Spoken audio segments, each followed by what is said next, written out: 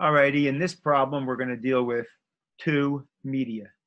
We have a medium on top, a medium on the bottom, and can you tell that the light comes in and bends toward the normal, making this medium the slower of the two? So if I knew what this angle was, how would I calculate that angle?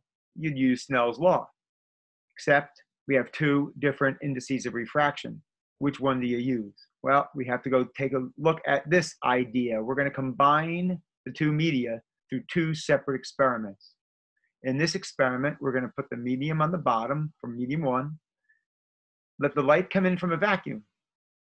It's going to bend toward the normal. Now, instead of calling that a refracted angle, I'm just going to call it angle one to go with this medium. Here's Snell's law. Sine I over sine angle one is the index of refraction for medium one. I'm going to do the same experiment with medium two. I'm going to have the same angle, I. The light comes in from the vacuum and it bends toward the normal.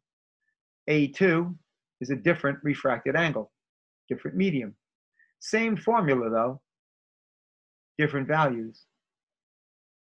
Except for I, they're going to be the same.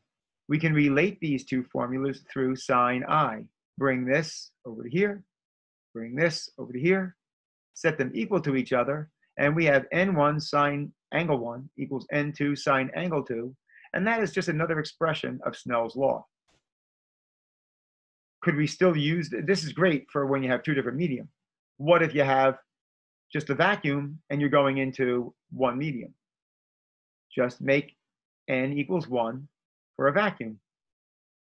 Now let's apply this to our problem we're going to put numbers to this problem right here. We're going to have water and glass. The light goes from the water into the glass.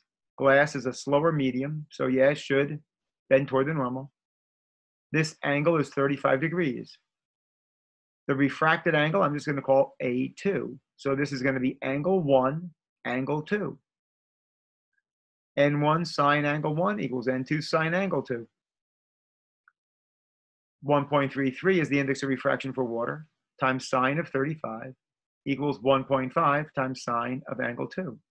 We solve for angle 2 and we get 30.6 degrees, which seems to check out because glass is slower than the water and the angle shows that we bent toward the normal. So that might help you do some of these problems.